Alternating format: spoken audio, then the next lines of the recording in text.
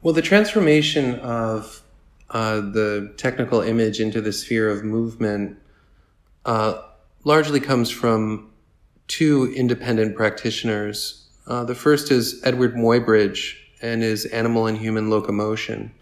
And the second is the French scientist Etienne Jules Marey, um, who, unlike Muybridge, had, inve- had invented or developed uh, uh, a repeatable, consistent flash, which made it possible to photograph the minutia of physical movement. What begins as a physiognomic study and a study that to try to explain the mysteries of uh, the way the human body moves when it's either carrying a weight or or even in the normal daily practice of walking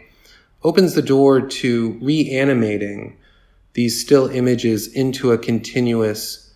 um, series of movements uh, that allows for and sets the stage for cinema.